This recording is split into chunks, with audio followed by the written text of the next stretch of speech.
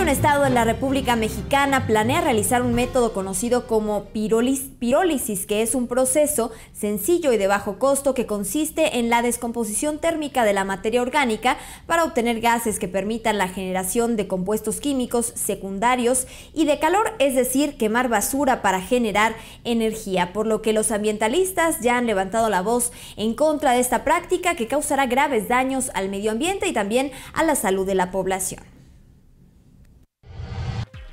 El alcalde de Ramos Arizpe, Coahuila, Ricardo Aguirre, pretende quemar basura para generar energía eléctrica por medio de un método denominado pirólisis, acciones a las que organizaciones ambientalistas se oponen porque aseguran que la compañía ganadora de la licitación no cuenta con los requisitos de la norma 098 de la Semarnat.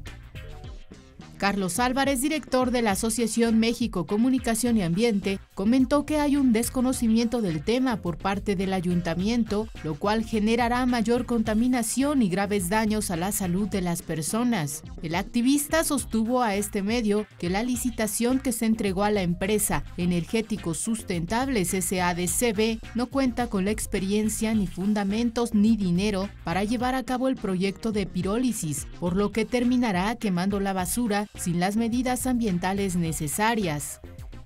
Ramos Arizpe, que es un ayuntamiento pequeño, pues equivocadamente entregó una concesión a una empresa desconocida, por supuesto nosotros estamos en el tema, hemos investigado a la empresa, no tiene ninguna experiencia previa en este tema tan delicado como es la quema o la incineración de la basura tienen un domicilio en Saltillo, Coahuila, pero ellos no tienen ninguna operación de este tipo en ningún lugar del país. O sea, son primerizos, son novatos.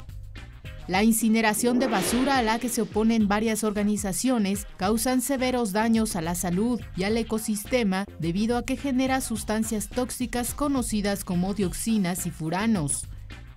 Y cuando nosotros ingerimos, respiramos o comemos estas sustancias, tienen graves daños a la salud.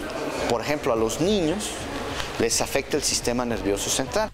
Este es el documento licitación para el otorgamiento de la concesión por 25 años del servicio público de disposición final de residuos sólidos.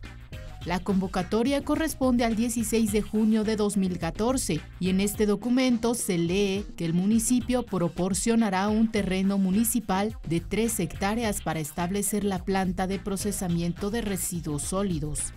Destacar que en este otro documento licitación claramente indica que el licitante deberá contar con experiencia, en este caso de incineración de residuos, y contar con capacidad técnica. Sin embargo, este no es el caso de la empresa Energéticos Sustentables. Ahora el gobierno de Coahuila deberá solicitar a la Secretaría de Medio Ambiente y Recursos Naturales el permiso para que la empresa que ganó la concesión opere y queme la basura en ese estado. En la siguiente entrega, ¿qué dicen las autoridades de la Semarnat en este asunto y la respuesta del gobierno de Coahuila por los señalamientos de los ambientalistas?